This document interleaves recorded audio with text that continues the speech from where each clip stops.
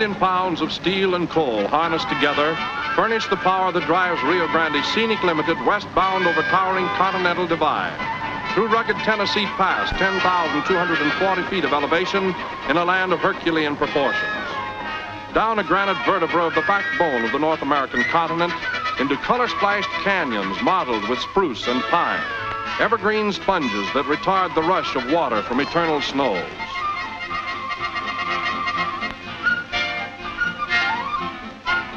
Mile after mile, our route parallels the Colorado River, a swift-flowing palette that catches the myriad colors of nature's endless parade of beauty. A surging guide that leads us across Colorado's boundary at dusk into Utah.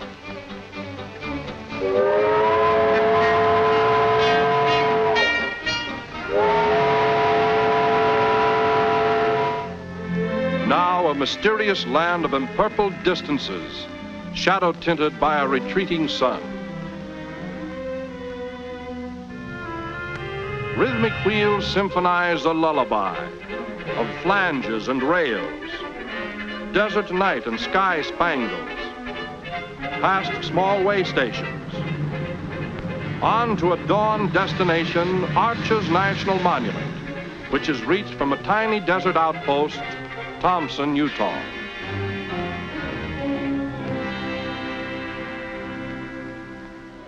Aboard the Scenic Limited again through ebony darkness into Utah's great Carbon County coal region. Bound for Castle Gate, imposing entrance to the Wasatch Plateau. Gray sandstone projections atop the canyon ridges guard the bituminous wealth of this section. Enough coal to supply the entire United States for 250 years. It is estimated almost 196 billion tons of coal remain to be mined.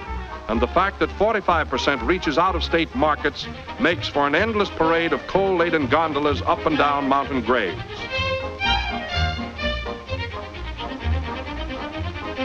The coal resources of Utah are enormous, with one-fifth of the state underlaid with this valuable combustible mineral.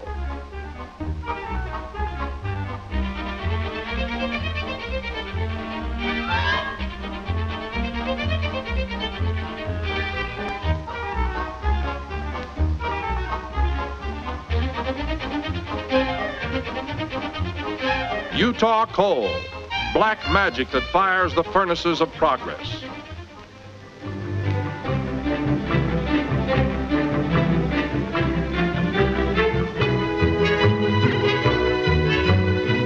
Lunch, a pleasant interlude, tasty dishes spiced with fleeting scenes. Up to Soldier Summit, over 7,000 feet high, the crest of the Wasatch Plateau. Here the railroad reaches its highest Utah elevation, and what was once the scene of Indian warfare is now a busy mountain crossroad.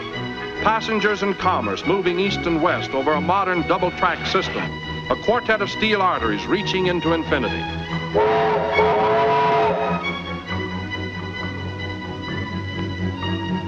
We're over the hump and it's down to Provo, Utah's third largest city.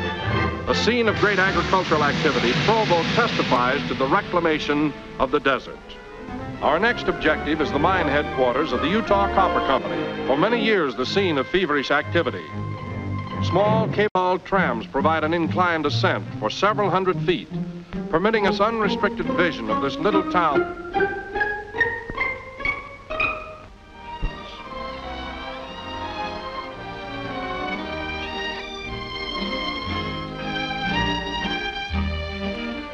vast are the mining operations here, it is necessary to board yet another vehicle, this time the caboose of a supply train, to see the world's largest open-cut copper mine. What a spectacle. This man-made wonder, an immense amphitheater-like quarry, terraced with 23 benches or working levels, each 70 feet high. The mine covers an operating area of 475 acres. It is 1,600 feet from the crest to the floor of the pit, which is encircled with miles of railroad track, over which electric engines haul ore cars of 80 and 100 ton capacity. First prospected in 1862 by United States soldiers, it remained dormant until the period of the Spanish-American War, when Colonel Daniel C. Jackling, realizing its great possibilities, made his preliminary efforts to create this awe-inspiring project. Like the fabled ventures of Egyptian pharaohs, this great enterprise, too, depends upon manpower, and more than 4,000 are employed when operating at peak capacity to handle a single day's output of 70,000 tons of low-grade copper ore. Enough mineral in one day to fill 824 cars, equivalent to a train almost five miles long, and that's mining. Terrace and trestle cross and recross this massive mineral basin. Until 1938, more than 266 million cubic yards of material was removed from this enormous mine, a staggering feat exceeding the total excavations for the Panama Canal by more than 20 million cubic yards. A blasting preliminary is the loading and shooting of spring holes, a prologue to the stupendous multiple explosions.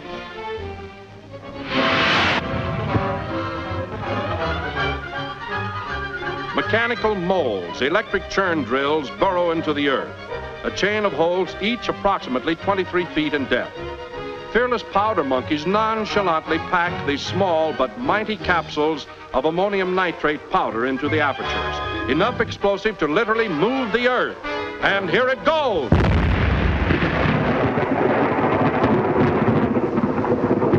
What an explosion. Thunder over Utah. 125,000 tons of mineral dust, a veritable smoky curtain of copper. This man-made earthquake is the signal that sends empty ore cars on their way to load up. And it becomes necessary to lay whole sections of new track in order to reach the debris. 29 electric shovels stab the earth, giant steel dippers scooping six to seven tons of rock at a time, completely filling an ore car in the record time of five minutes.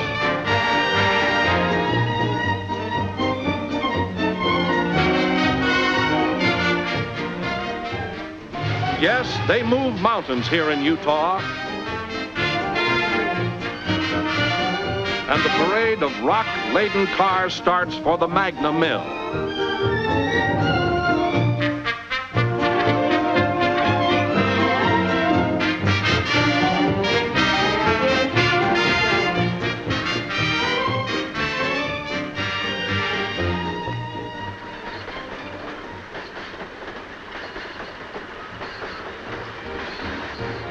Stage, the precipitate is 89% copper and is ready to be transported to the smelter for the fiery baptism which will convert it into solid metal.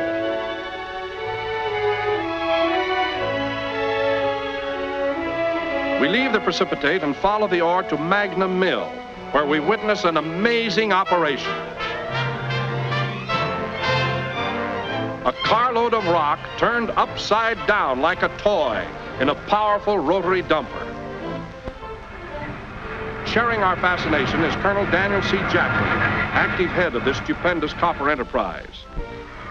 Tons of rock are catapulted into the crusher, looking for all the world like a huge coffee grinder, creating an ear-splitting roar.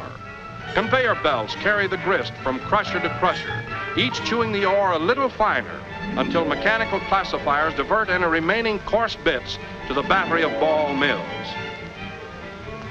Pulverized to a fine consistency, the ore is mixed with reagents, becomes a pulp-like mixture, and is delivered to the flotation machines where the copper mineral is floated away from the worthless gangue or rock and recovered as copper concentrate and then made ready for delivery to the smelter. Here, gold, strangely enough, is a byproduct of copper, being caught in valuable quantities in these launders through which the mill tailings flow. Efficient mining and smelting of low-grade ore makes for continuous activity at the massive Garfield smelter, where more copper matte is produced than at any other place in the world. From one steel volcano to another, the fiery copper lava is drawn, rejecting all waste material or slag. The slag is skimmed off. It is poured into special metal dump cars.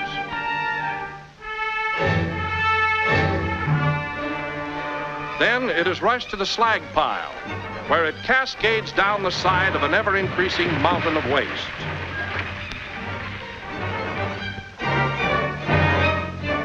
Purged and purified, The stream of molten copper is molded into 450-pound blocks. Cooling streams of water playing on the hissing, steaming oblongs. Leaving Ogden, western terminus of the Rio Grande Railroad, we are thrilled again with the prospect of going places. This time to the throne of a desert empire, Salt Lake City. More than 90 years ago, covered wagons freighted with courageous men and women forced balky oxen over tortuous desert routes. What a contrast. Steel-covered wagons powered with the might of thousands of steam oxen thunder over flashing rails. Carefree, speedy transportation, safeguarded all the way by cyclopean green and red eyes.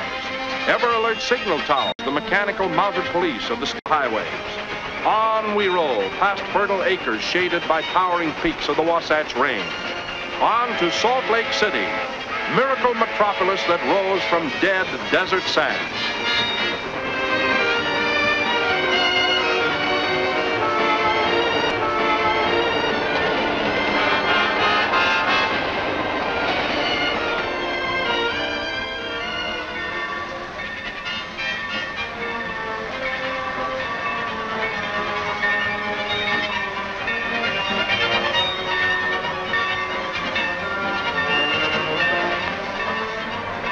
Objective is just a matter of moments. Air brakes gently slow our train, while alert porters make ready to empty passenger-crowded vestibules into the busy Rio Grande station.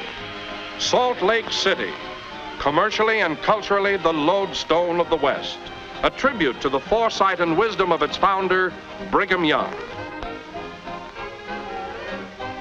To fully appreciate Salt Lake City and understand its unique historical background, requires far more time than the few brief hours we have enjoyed. Hours amongst people friendly and hospitable. But we face the inflexible reality of railroad schedules. And it's back on board. This time, the panoramic, eastbound over the Moffat Tunnel scenic shortcut. Dreams do come true. Brigham Young's prophecy is fulfilled. Utah is the desert empire.